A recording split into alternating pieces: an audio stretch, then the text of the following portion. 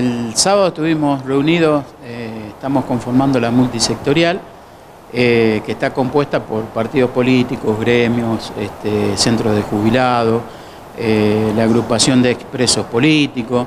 Bueno, nos reunimos ahí en, en, la sede de la UOM, pero esto también viene a raíz de lo que sucedió el día martes en las puertas de fábrica militar en Fray Luis Beltrán, eh, lugar en el que de a poco están despidiendo a los trabajadores con mira a cerrarlo. Eh, y toda esta realidad no es solamente ahí, sino que la vemos a lo largo y a lo ancho del país como están cada día despidiendo y cerrando fábrica. Entonces, este, esta realidad eh, nos llevó a tomar la decisión de por ahí dejar las, diferencias y unirnos, ¿no? así fue que ahí en la fábrica de, de Fray Luis Beltrán, se resolvió hacer una actividad en todo el cordón industrial que va desde San Lorenzo a Villa Constitución, eh, en el cual en cada lugar este, se tomaba la decisión de qué forma iba a ser. Y bueno, aquí el sábado nosotros hemos resuelto hacer eh, en el día de mañana, a las 10 de la mañana, vamos a, estar en la Plaza Central, eh, vamos a hacer un sencillo acto en el que bueno, vamos a estar expresando cada uno de los sectores cómo está la situación y bueno, eh, después desde ahí, eh, una vez finalizado, partiremos a la ciudad de San Lorenzo que va a haber un gran acto en el que van a concluir este, todos los, sectores de distintas ciudades que eh, nos une desde, ya te digo, la, la realidad económica y de despido que estamos viviendo. ¿no? ¿Cuál es la situación hasta el momento de Fray Luis Beltrán? ¿Cuántos trabajadores hay afectados por este, justamente por estas medidas?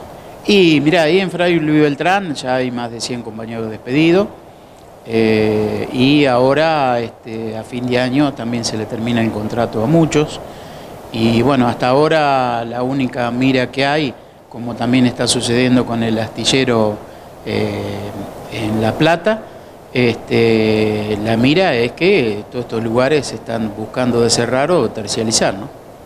Preocupa, obviamente, que, situaciones como estas se puedan eh, extender hasta lo que es esta región, ¿no?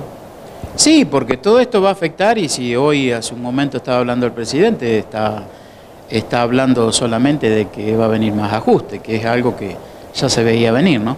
Así que bueno, esto es lo que nos tiene que servir es para unirnos y y estar juntos para poder resistir estos avances sobre nuestros derechos.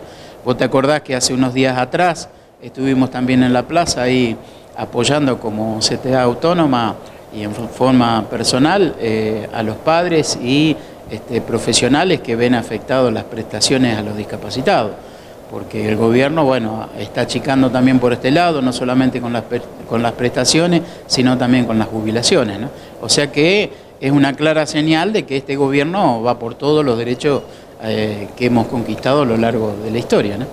Todos invitados entonces a participar mañana de este acto. Sí, invitamos a todos porque esto nos afecta a todos. Acá lo que nos une es eh, esta realidad que estamos viviendo de las tarifas, lo que estamos viviendo con los despidos, este, lo que llevo hoy, llevar un plato de comida a la mesa. Así que esto no, nos tiene que unir para resistir, porque solamente los trabajadores este, podremos salvar a los trabajadores. ¿no?